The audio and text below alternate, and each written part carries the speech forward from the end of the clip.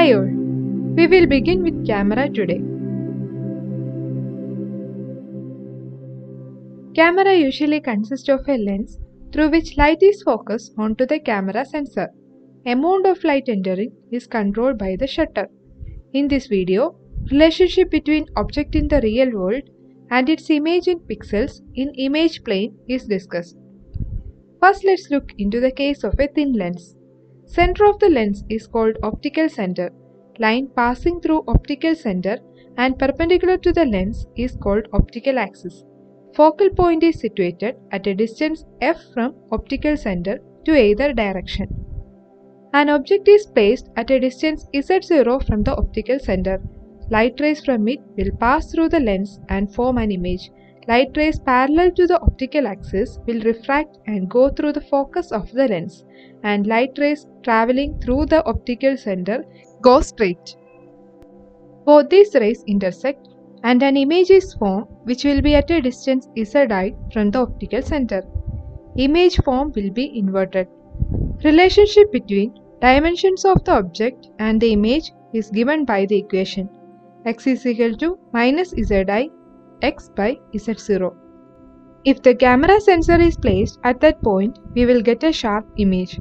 But if image plane is at a different position, we will get a blurry image.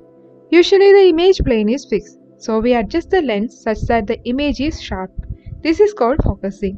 This is done with the help of the focus ring when in manual mode. Z0, Zi and f are related by this equation. 1 by f is equal to 1 by z0 plus 1 by zi. Now let's look at the pinhole camera.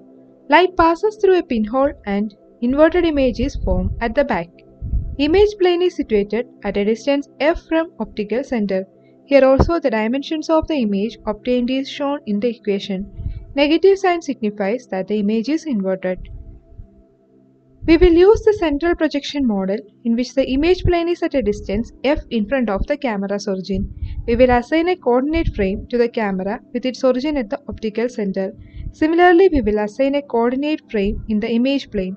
Point of intersection of the optical axis with the image plane is called the principal point.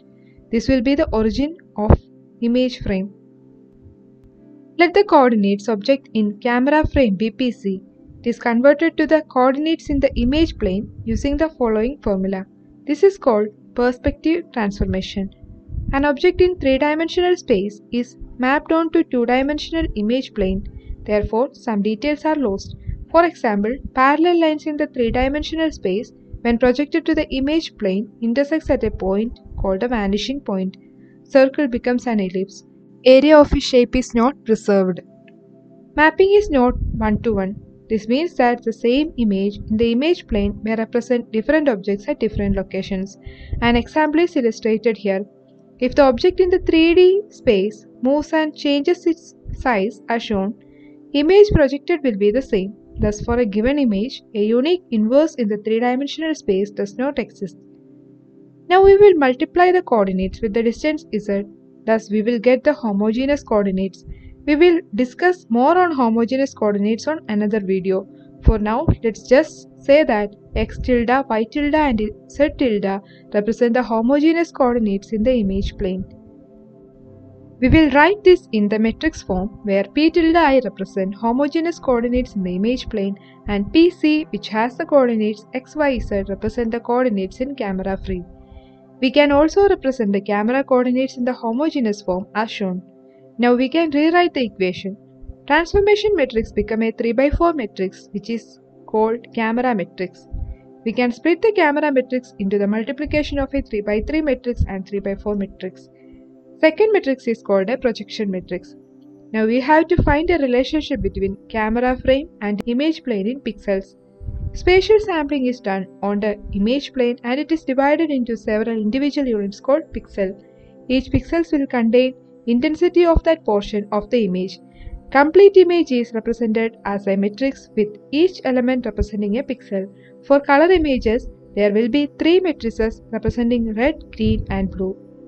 Let's look at the discretized image from the point. Origin of the pixel plane in the top left corner of the plane starting from 0, 0 as in the matrix with the axes u and v. Origin of the image plane with respect to the plane is u0, v0. Let SU be the width of the pixel and SV be the height of the pixel. Therefore, the image coordinates and the pixel coordinates are related as described in the equation.